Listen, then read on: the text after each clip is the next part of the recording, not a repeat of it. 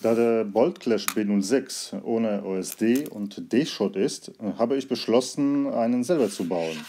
Hier verwende ich die BR0703 Motoren, die identisch mit dem Bolt Clash Motoren sind. Da diese zu lange Schrauben haben, musste ich aus einem dicken Kabelbinder mir Unterlegscheiben ausstanzen. Nun kann ich alle vier Motoren montieren. Das Gewicht vom Frame mit Motoren ist 14 Gramm, was fast gleich so viel ist wie bei Bolt Clash B06. Bei dem Star 4 ESC entferne ich den Stumpfschlauch, um Gewicht zu sparen.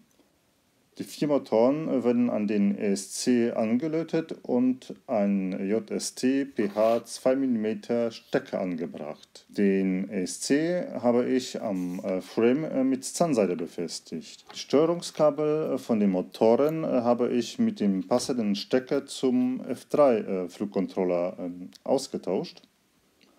Der F3-Flugcontroller ist ein Omnibus mit OSD. Für den FC habe ich eine Adapterplatte aus einem Stück Kunststoffdeckel ausgeschnitten. Bei den Framekit ist eine Kamerahaube dabei.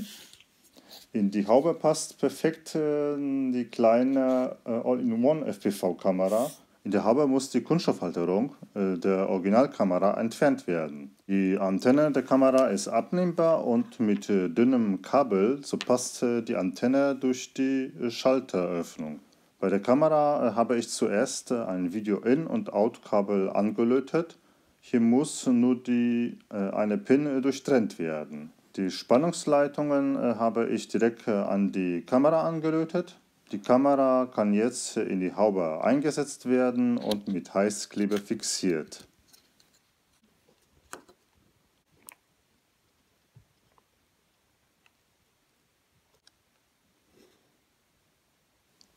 An der Seite der Haube habe ich ein Loch für den Frequenzschalter gemacht. Die fertige Kamerahaube wiegt wie die Originalhaube von B06.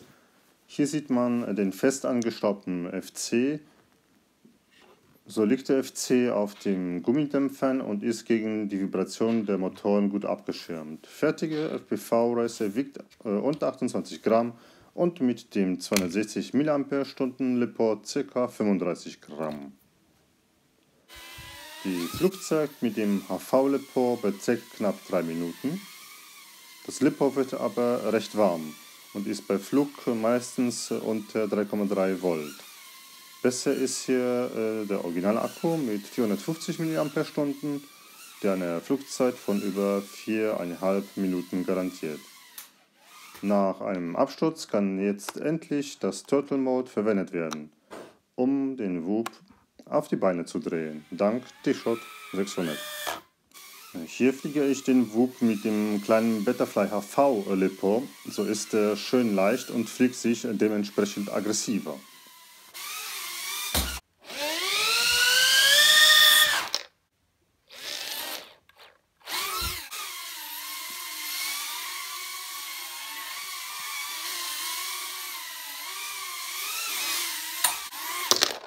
Die LST S2 Kamera liefert ein gutes Bild in der Wohnung.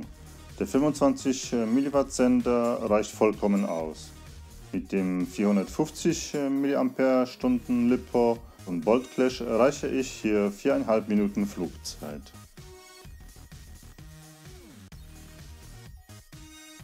Und nach einem Crash nutze ich mal wieder den Turtle Mode.